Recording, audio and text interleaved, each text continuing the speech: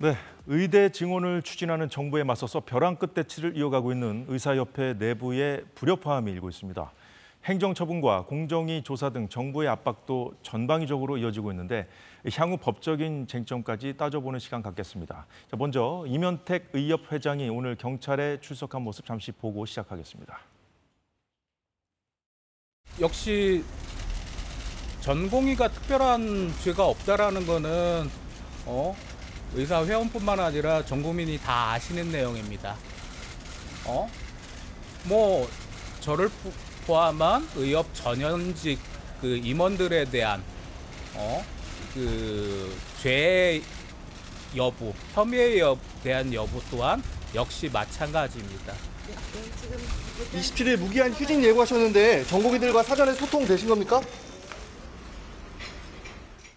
네, 손수호 변호사. 네. 그 이문택 회장 경찰 조사를 지금 받고 있나요, 아직도? 네, 혐의가 뭡니까?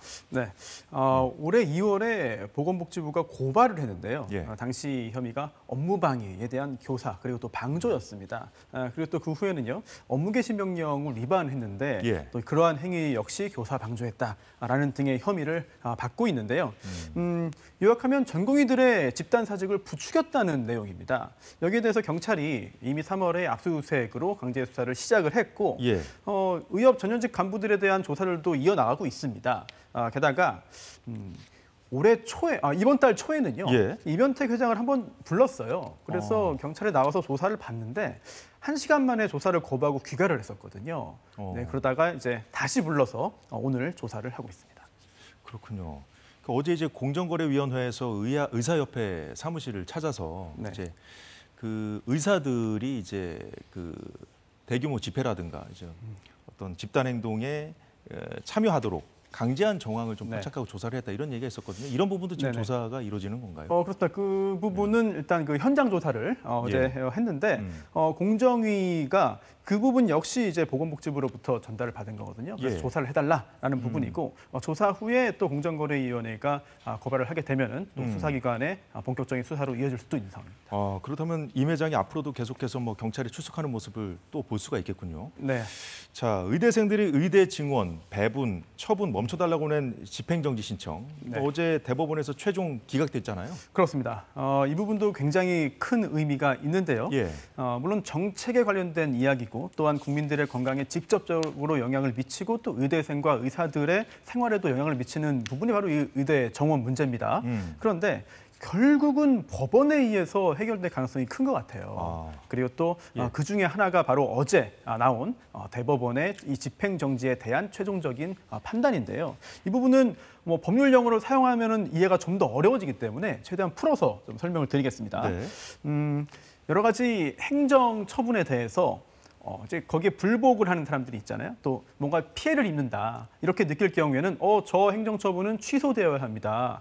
위법, 위법 합니다라고 음. 어, 소송을 제기할 수 있습니다. 예. 그런데 그러한 소송이 금방 끝나지 않습니다. 어. 몇년 걸리는 경우도 있거든요. 그러면은 이미 그 소송 결론 나오기 전에 피해가 확정되어 버리는 경우가 있어요. 음. 그렇기 때문에 어 저에게 불리한 행정 처분인데 이거 일단 좀 멈춰 주시고요. 예. 효력 좀 잠깐 좀 멈춰 주시고 소송으로 다투 다퉈 보죠. 이렇게 하는 겁니다. 음. 이게 바로 집행 정지인데 그래서 어 이제 정부가 예. 내년도 전체 의대 정원을 2천 명 늘렸잖아요. 이렇게 늘리는 것을 발표를 했고 또 음. 예. 발표에 의해서 어, 대학별로 나누어서 배정을 했습니다. 음. 그 배정한 행위와 그 발표 행위의 효력을 좀 멈춰달라 라고 하는 집행정지 신청을 아, 의대생과 의사들이 음. 했는데 1심에서도 기각됐고요. 예. 2심에서도 뭐 기각 내지 각하됐고 대법원에서도 역시 마찬가지입니다. 법원의 판단이 빨리 나온 거네요. 어, 집행정지는 원래 빨리 나옵니다. 아. 아, 집행정지는 예. 일단 아, 본안 소송이 굉장히 오랜 시간이 걸릴 수 있기 때문에 음. 그에 대해서 어, 굉장히 빠른 시간 내에 빠른 시일 내에 결론을 내서 피해를 좀 없애보자, 빨리 정리하자라는 음, 취지로. 나오는 것이죠. 자, 이번 판단이 그렇다면 다른 집행정지 신청에도 영향을 줄까요?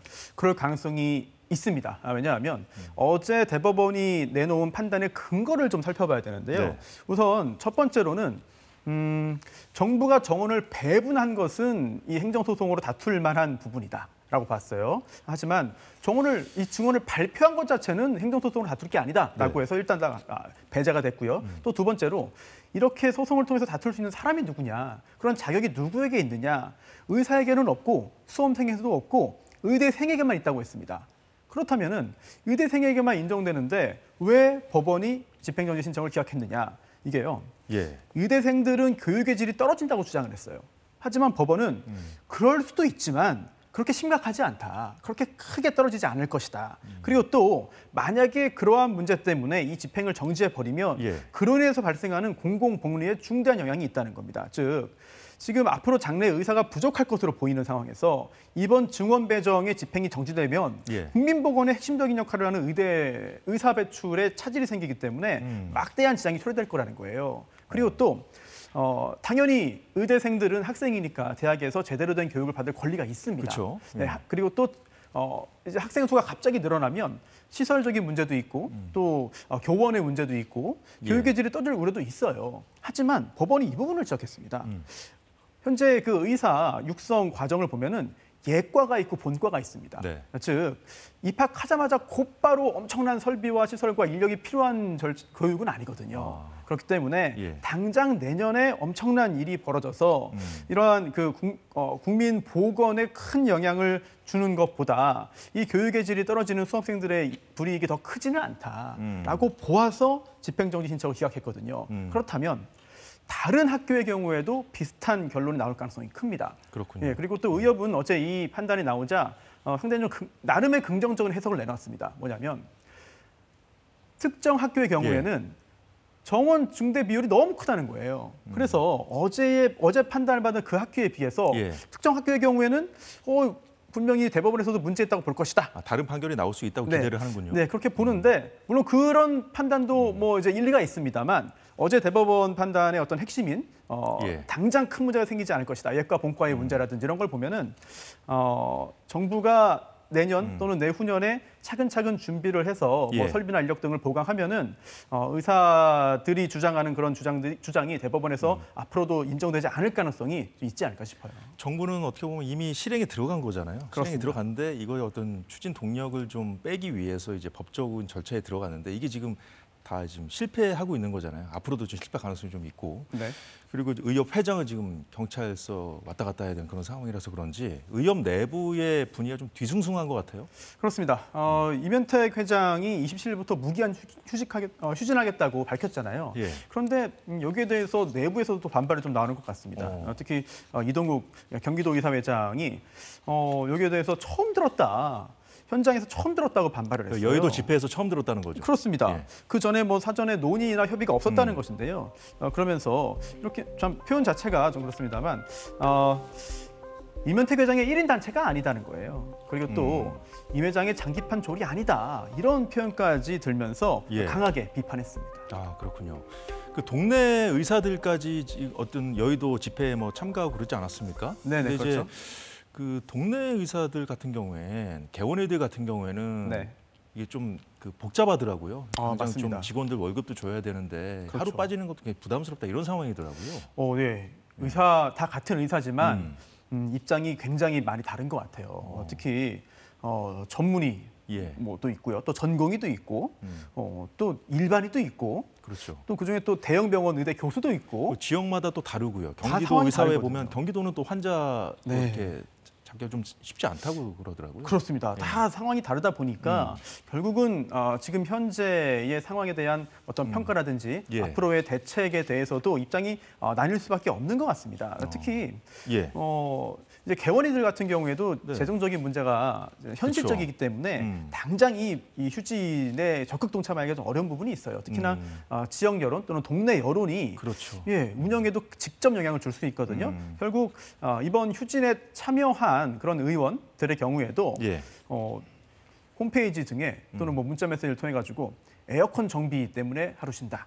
또는 뭐 음. 어, 대청소, 뭐 장비 교체, 뭐 인원 휴가, 예. 뭐 또는 봉사 활동 이런 명목들을 내세웠거든요. 지속적으로 참여하기 좀 쉽지 않은 그렇습니다. 그렇다면 일회성은 예. 몰라도 음. 앞으로 계속 이어나가기는 쉽지 않아 보입니다. 그러니까 의사협회가 그런데 전공의 단체하고도 좀 반발을 갈등을 겪고 있는 것 같아요. 그렇습니다. 이 부분도 네. 음, 같은 의사지만 상황이 굉장히 많이 다른 것 같아요. 입장이 다르다 보니까 원하는 예. 부분도 다르거든요.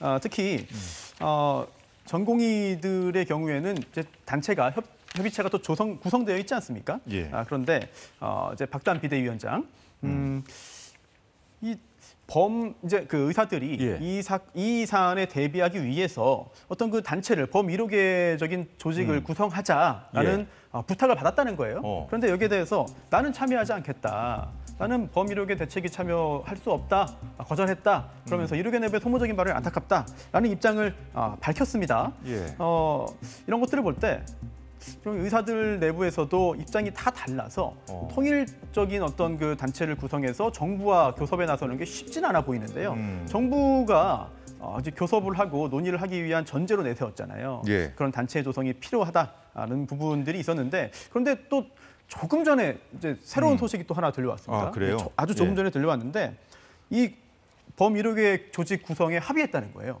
아, 네. 전공의도 들어가기로 했대요? 네, 그래서 어. 조금 전에 이제 그 박단 비대위원장은 나는 참여하지 않겠다라고 했는데 음. 그럼 누가 참여하느냐? 전공인은 아직 누가 참여할지는 정해지지 않았다고 합니다. 총 어, 세 개의 축인데요. 아? 음. 교수 그리고 시도의사회 대표 또 전공의 어, 이렇게 참여하기로 했다는데 아직 전공의를 대표해서 누가 참여할지는 정해지지 않았기 때문에 과연 어, 하나의 조직이 만들어져서 예. 정부와 공식적으로 어, 좀더 밀도 있는 협상을 협의를 이어나갈 수 있을지는 좀 더 지켜봐야 될 것 같습니다. 아니 그런데 이제 박단 대표, 전공의 대표는 참여하지 않겠다고 그랬는데 네. 어, 다른 인물이 참여하겠다는 게 전공의 내부도 좀 분열이 있는 겁니까? 만약 어떻게 봐야 조- 될까요? 예, 조금 전에 나온 이- 조심스럽지만. 네, 조금 네. 전에 나온 이 소식이 사실이라면 음. 사실이라면 전공의들 안에서도 뭔가 다른 의견이 조금씩 나오고 있지 않느냐라는 어, 조, 어, 떤 생각을 어, 조심스럽게 할수 예. 있겠고요. 그리고 또 그동안에 있었던 여러 가지 일들을 보면은 음, 조직이 뭐 법에 의해서 딱 정해진 게 아니기 때문에 예. 아, 그때 그때 나오는 얘기가 약간씩 다르긴 하거든요. 음. 조금 전에 이 소식도 진위가 무엇인지 어, 뭐 시간이 좀 지나면 좀 음. 더 명확해질 것 같습니다. 종합해 보면 좀 앞으로 이제 무기한 휴진이라는 강공 카드를 쓰기는 좀 쉽지 않아 보이거든요.